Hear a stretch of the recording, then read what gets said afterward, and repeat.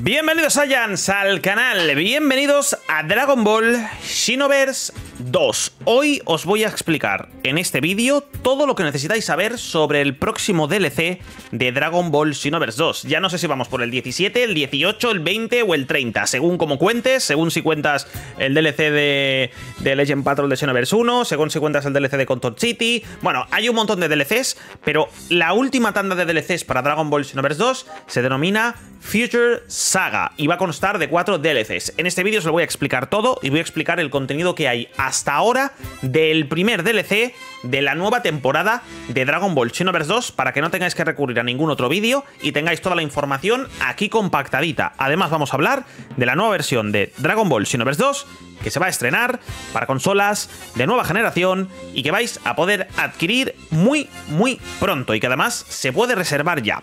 Mi nombre es Mark, bienvenidos al canal, agradecería que le deis al like en este vídeo porque os va a servir de mucha ayuda y bienvenidos, por supuesto, a Dragon Ball Xenoverse 2.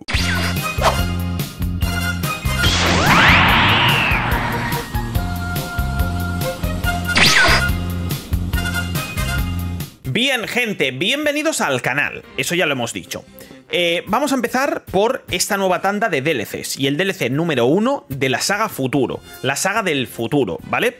Han anunciado nuevos DLCs, un DLC 17, pero este DLC es el DLC de la saga del futuro. ¿Por qué? Porque Fu está otra vez haciendo de las suyas y van a sacar una historia que se denomina Saga del Futuro. Y el DLC 17 equivale a la saga del futuro, parte 1. Va a haber un total de 4 partes. Este DLC número 1 trata de un objeto que es un anillo. Un anillo como el que llevaba nuestro querido Black Goku, Zamas, ¿vale?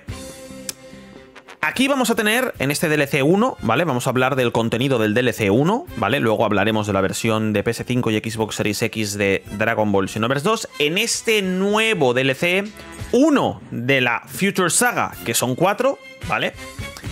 Vamos a tener los supervillanos. Vegeta, Black, van a haber ciertos villanos que se van a convertir en supervillanos y en teoría van a ser personajes jugables, vamos a poder jugarlos, ¿vale? Aunque eso no está 100% confirmado, ¿vale?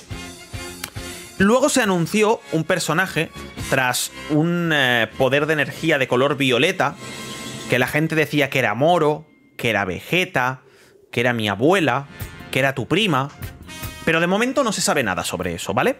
Hay incógnita, porque todavía no han revelado toda la información al 100% de este DLC número 1 de la saga del futuro de Fu, ¿vale? Pero sí que han confirmado, y ayer subimos un vídeo, a Videl de Dragon Ball Super y al androide número 18 de Dragon Ball Super con habilidades personalizadas. Una ataca más a rango medio, otra ataca más cuerpo a cuerpo, ¿vale? Estos personajes están confirmados ya en el DLC 1 de la saga del futuro. Y quedan más cosas, ¿vale? Eh, también va a estar confirmado un escenario, ¿vale? Y por primera vez en un DLC añaden misiones secundarias, normalmente suelen eh, añadir entre 4 o 5, pero aquí se les ha ido la cabeza y en el primer DLC te meten 12 misiones secundarias. Lo que quiere decir que van a haber muchos objetos, ¿vale? Van a haber muchos objetos para esas misiones, muchas ilustraciones, muchas pantallas de carga, ¿vale? Pero te meten ya 12 misiones secundarias, para que te calles un mes, ¿vale? Que es interesante. Y todavía quedan personajes por anunciar. Todavía queda el mapa por anunciarse cuál va a ser el mapa que se va a anunciar. Me parece asombroso, me parece apoteósico. Así sí que se puede sacar un DLC, ¿vale?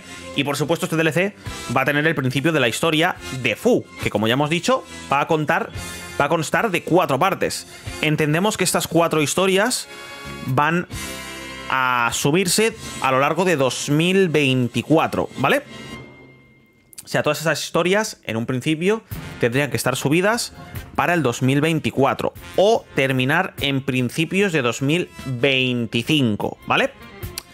Entonces, con esto va a haber una actualización gratuita, que van a haber cositas como figuras del Héroe Coliseo en este nuevo DLC, van a haber algunas cositas bastante chingonas, y también vamos a tener, que esto es muy importante, también vamos a tener la ropa de Videl, tanto para el personaje Saiyan masculino como para el personaje Saiyan femenino. Bien, gente, muchos de vosotros... Eh estaréis alucinando con el DLC del Dragon Ball Xenoverse 2, pero sí que es cierto que es el juego por excelencia eterno de Dragon Ball. Es decir, lleva desde 2016, estamos en 2024.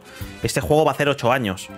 Y siguen actualizándolo. O sea, es decir, es brutal que no hayan sacado una nueva versión del Xenoverse y que sigan actualizando. Me parece increíble, me parece una barbaridad. ¿Pero por qué lo actualizan? Muy sencillo. Porque la gente juega juega, perdón. Yo ya sabéis que grabo eh, los eventos eh, secundarios, los eventos online, las misiones experto y la gente entra a jugar. No me cuesta nada buscar partida, ¿vale? Con lo cual es comprensible que saquen un DLC. Es completamente comprensible que saquen un DLC. Es que es increíble. Es que el juego es brutal. Eh, te da un abanico muy grande el tema de Dragon Ball Xenoverse 2 mods en PC y además puedes comprar el juego original en Steam, no hay ningún problema.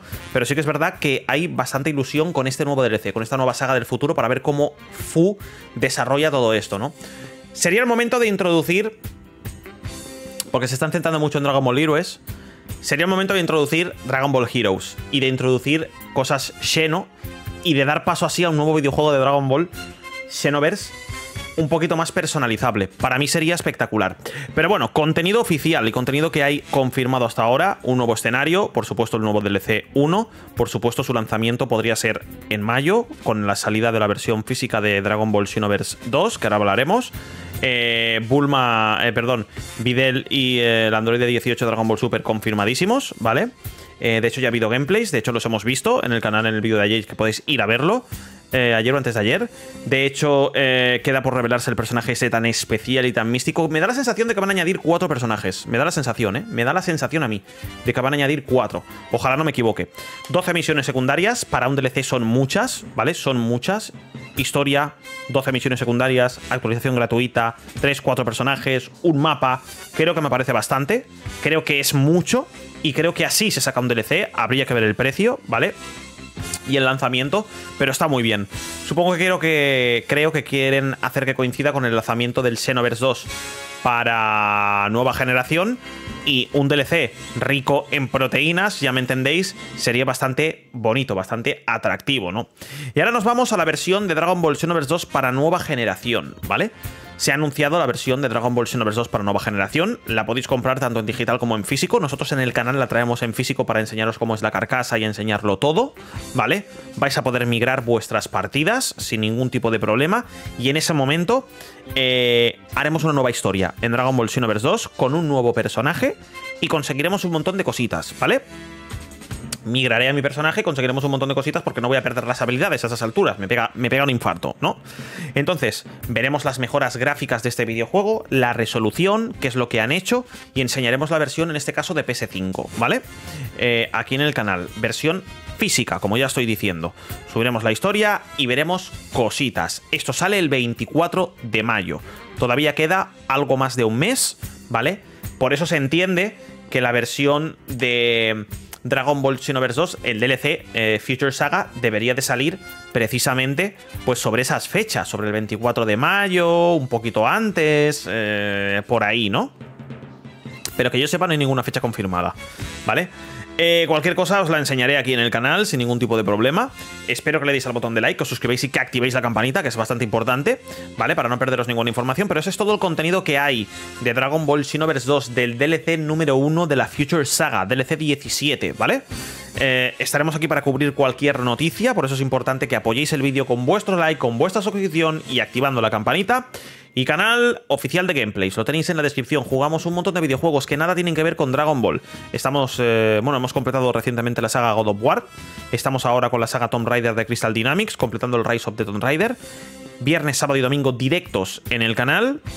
Eh, de lunes a viernes noticias sobre videojuegos. Es un canal bastante entretenido y que os estáis suscribiendo muchos. Este, creo que eh, llevamos ya 100 suscriptores este mes, con lo cual es espectacular. Te animo a que te suscribas. Redes sociales para no perderos nada en la descripción. Y espero que os haya gustado el vídeo. Si os ha gustado podéis darle un like, suscribiros a los dos canales. Y nos vemos en el siguiente vídeo. Espero que tengáis resumido todo acerca sobre el nuevo DLC de Dragon Ball y que lo tengáis todo un poquito más resumido y mejor en este vídeo. Gracias por estar aquí y hasta la próxima. ¡Chao!